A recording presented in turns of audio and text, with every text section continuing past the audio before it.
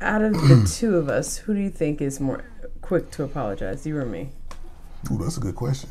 We don't really have that many tiffs, No. but I will say, I'm gonna say me.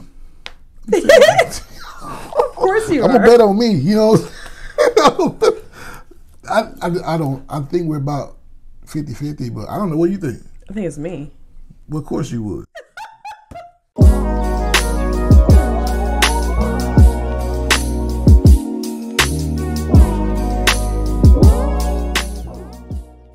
Hey guys, we're back with another video. Enough said. Today we have a video from uh, Jamal the Creative. He is a fellow YouTuber. Love his stuff, hilarious. So, but I think this video has a very good point.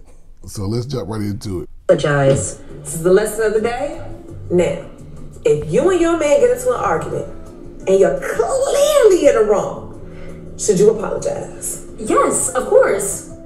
Absolutely. Never! Did you never say sorry to your man? You apologize? Huh, disgusting. And this is what you do.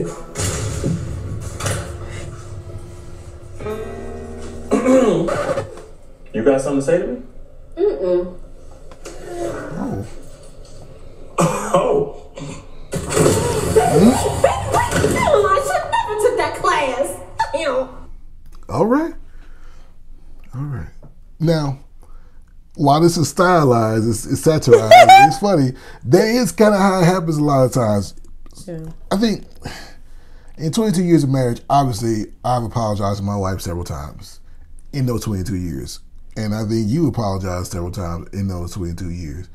But it never ceases to amaze us how some couples will walk around the house for days at a time, not speaking to each other, not touching each other, not any. I, I, I can't do that. It just it's, it upsets my sensibilities. If me and her have a disagreement, we're done with that disagreement in, within a span of about 15 to 20 minutes. Yeah. That's, Maybe 30. Maybe 30, and that's pushing it. and that's pushing it because because I just don't. I it's it upsets the the symmetry of the home. Everybody's off. The kids know something ain't right. you know, and it's just crazy. Like, but people will walk. People will come to us, and they they will have not spoken for weeks yeah. or or or, or at least days. And you're like, how do you? That's dangerous to walk around like that. Mm-hmm. And I know this is funny, and, I, and Jamal Creative is, is hilarious, but really, it's almost like people are taught to do that.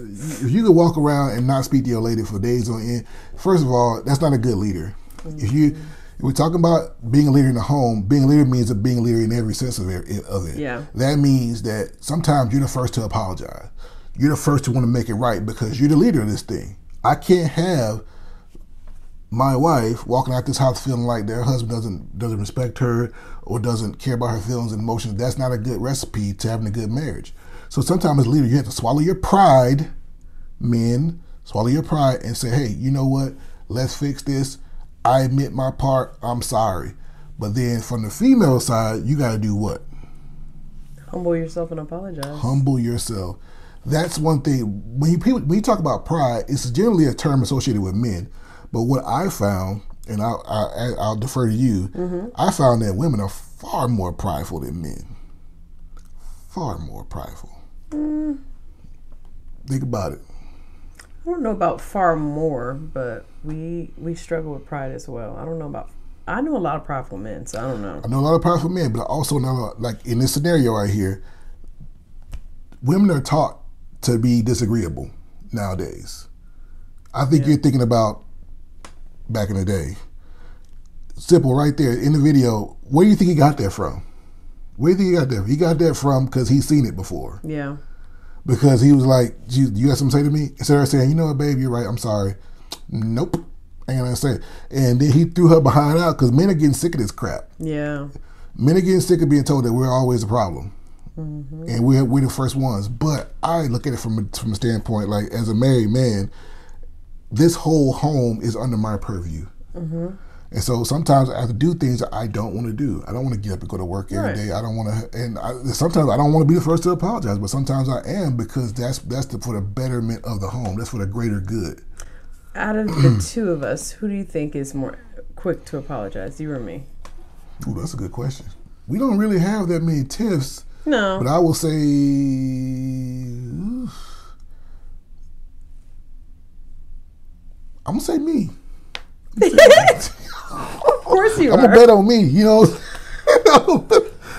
I, I I don't. I think we're about 50-50, but I don't know. What do you think? I think it's me. Well, of course you would. of course you would. You need to apologize now. Anyway, I'm sorry you feel this way. that's a that's a whack of, that's like the wackest apology. When people say that, I'm sorry you feel that is the that's like that's like the the big middle finger like to your feelings. When people say that, I'm sorry that you felt like you know.